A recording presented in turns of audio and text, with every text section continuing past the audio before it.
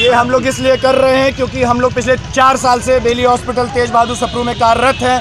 अचानक से हम लोगों को 20-25 दिन पहले नोटिस मिल जा रहा है कि आप लोगों की सारी सेवाएँ बंद करी जा रही हैं। ऐसा क्यों? हम लोगों की वजह से तेज बहादुर सप्रू हॉस्पिटल हर चीज़ में तरक्की पाया है।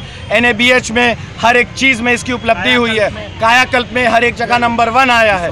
और इस समय वार्ड में पूरे हॉस्पिटल में कुल 28 कुल 28 स्टाफ हैं जिनसे ये हॉस्पिटल चलाएँगे। ऐसा कैसे इन्होंने, क्या क्या सोच के इन्होंने प्रक्रिया बनाई है, रणनीति बनाई है कि हॉस्पिटल चला लेंगे? और हम लोगों को जोड़कर पचपन जिला में हम लोग कार्यरत हैं। पचपन जिला में।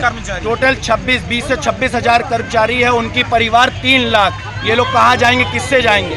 और ये सरकार जो करी है इसका भुगतान हमारे पेशेंट जो गरीब दूर दूर से आते हैं यहाँ भर्ती होने वो सब भुगतान कर रहे हैं। यहाँ पे लेटे हैं उनको सुनवाई नहीं। है। जिम्मेदार किसको मानते हैं आप? जी?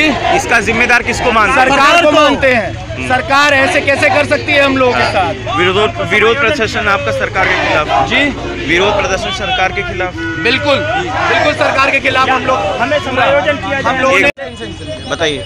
जी भैया पिछले हम पंद्रह दिनों से लगातार सरकार, लगातार जिला स्तर पर, प्रदेश स्तर पर लगातार ज्ञापन दे रहे हैं, जिसकी कोई आश्वासन केवल मिल रहा है और लिखित में कुछ नहीं आ रहा है। अगर ग्यारह तारीख तक हमारी मांगे नहीं मानी जाएगी, हम लोग पूरी तरीके से आंदोलन पर रुक रहे हैं। ग्यारह तारीख को एक दिवसीय धरना देंगे।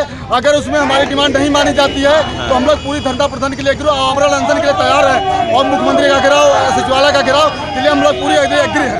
सदस्य जिला महामंत्री संयुक्त आर्दोल सही संविदा कर्मचारी Viva